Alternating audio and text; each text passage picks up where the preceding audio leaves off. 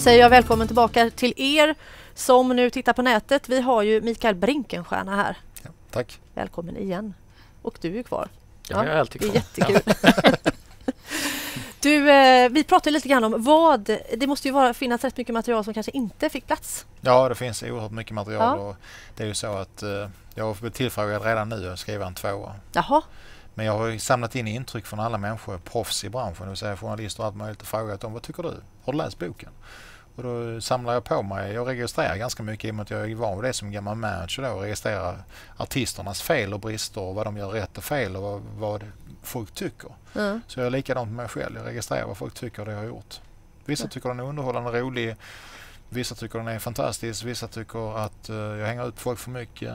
Vissa tycker att jag kanske berättar lite för, för lite om mig själv och så vidare. ja det, tänkte, det reflekterade jag faktiskt över när jag läste boken. Att det, du skriver väldigt mycket om eh, kändisar, hur de eh, krökar och dricker och Mm. ligger runt och sådär. Men det, det finns ju ingenting om, om dig i den biten. Det, Ja, alltså, jag är väldigt tråkig privat. Alltså, det, man börjar lite så här, är du så eh, änglalik att du inte eh, ligger, är- super och knarkar eller Nej. är det faktiskt bara så att du eh, låter dem sköta det?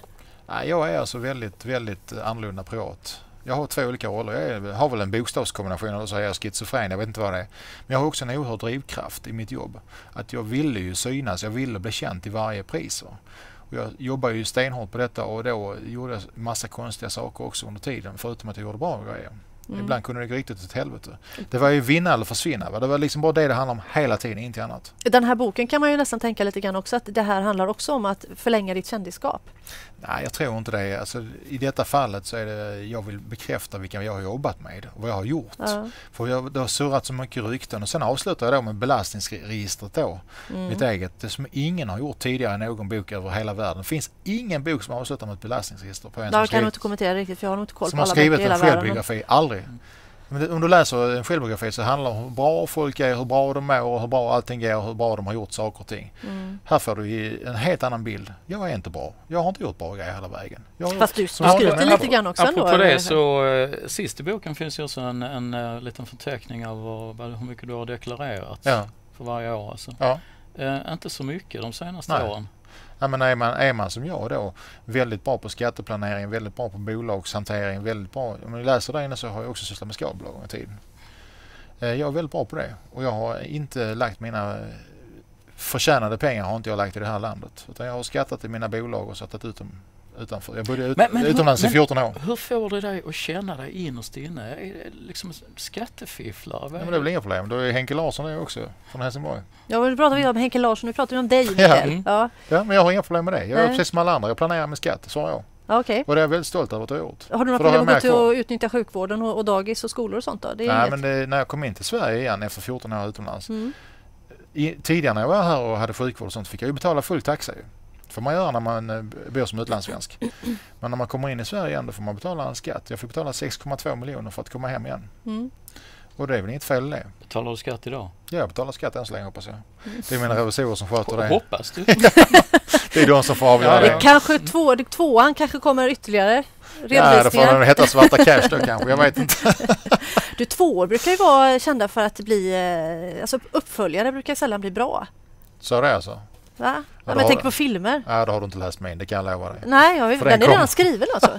är det så? Nej, men det finns en tanke på hur vi ska lägga upp det. Ja, okej. Det finns en tanke men sen om det håller, det vet jag inte. Jag har ju folk omkring mig som är väldigt, väldigt hårda. Mm. Hade jag fått eh, släppa loss så hade det varit helt galet. Men du, alltså juristerna har varit inne och liksom Ja, kapat flera och, gånger, och sagt till att Ja. shit, det här kan vi inte ha med. Alltså. Jag hade till exempel en grej att jag lärde mig allt det här om eh, svarta pengar och hanteringar på Möllevångstorget i Malmö och på Stippes i Malmö på nätterna. Av, av den eh, gråa skalan på eh, gästerna liksom. Fick jag inte ha med till exempel.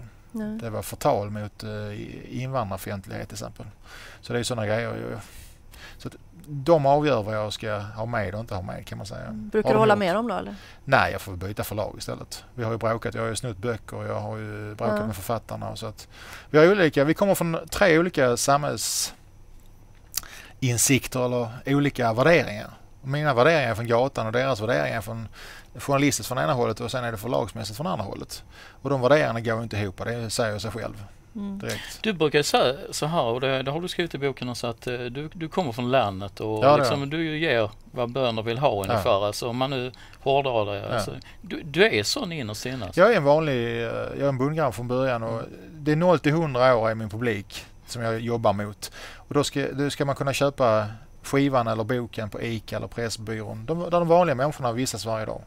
Och allt mitt tänk liksom, Svullo, Ronny Ragge, Isabella Scorupco, systrarna Graf, Aqua, du kan göra listan hur lång som helst. Alla de jag har tagit fram genom åren, det har ju varit för the mainstream alltid. Mm. Till och med till Kungarna av Tylösand var ju mainstream. Mm. Fast det, Eh, en sak jag också har funderat över, just personen Mikael Bynkenstierna. När, när, när du är hemma så är du en sån här som sitter i soffan och gullar med kattungar och, och ringer in eh, och ger pengar till Läkare Utan Gränser och sånt här. Eller vad? Ja, jag skänker faktiskt 50 olika, jag har 50 stående olika konton som jag skänker till varje år. Men eh, hemma är jag den här som sitter med min dotter eller min son och umgås med dem, ja, sa jag. Mm.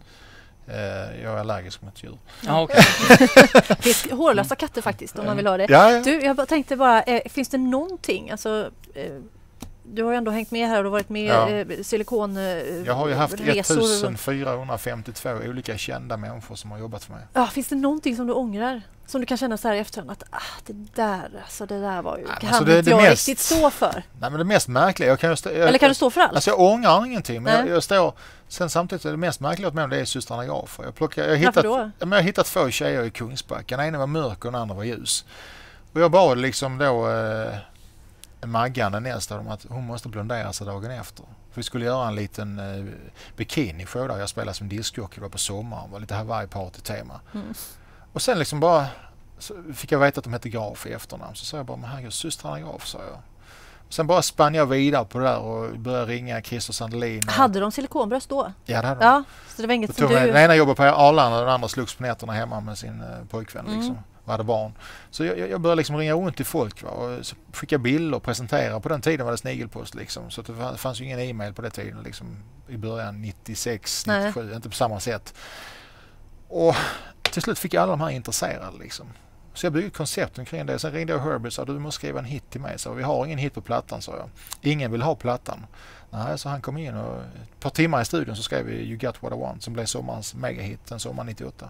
Mm. Vi blev stämda också för vi snodde ju halva låten från en annan låt. Men är, är, det, är, är det en av dina bästa affärer? ja, det är det.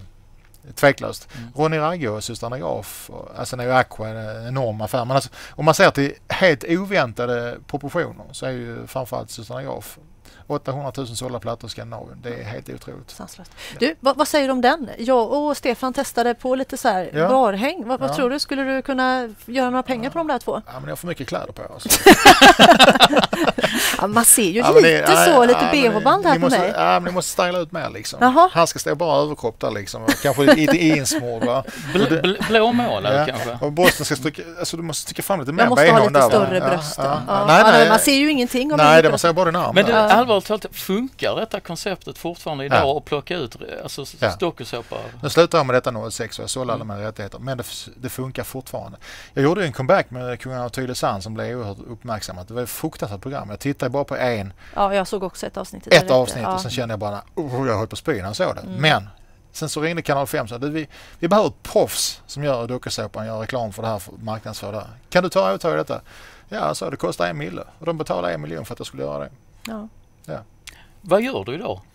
Ja, vad gör jag? Jag spelar Mm. skivor som discjockey igen oerhört mycket och jag har skrivit boken klar. Jag håller på att förhandla om tv eller radio i framtiden.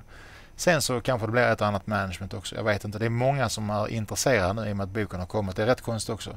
Jag menar jag skulle bli avskräckt om jag läste det här som en eh, artist eller liknande. Men det är många som hör av sig hela tiden. Det. Mm. Varför är det så? Ja, Det är väl tjusningar att de vill synas och de vet att jag kan få dem att synas. Jag är bra på det. Mm.